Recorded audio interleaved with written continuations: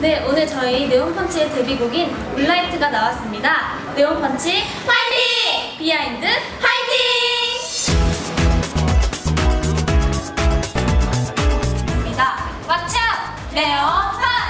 안녕하세요, 네온펀치입니다. 아, 근데 지금 네온펀치가 쇼케이스를 하고 있는데 음원 차트에서 98위를 기록하고 있습니다, 현재. 음원 차트 지금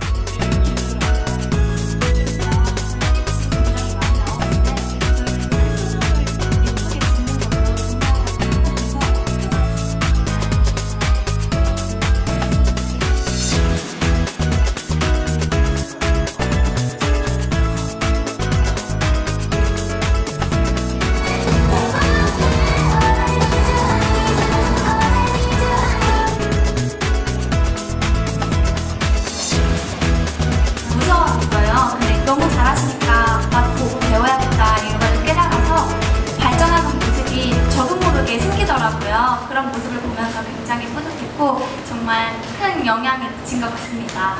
감사합니다. 저희 네온펀치 열심히 준비해서 이렇게 짠 하고 데뷔했습니다. 정말 열심히 열심히 더 노력하는 네온펀치가 될 테니까 많은 관심과 사랑 부탁드립니다. 감사합니다.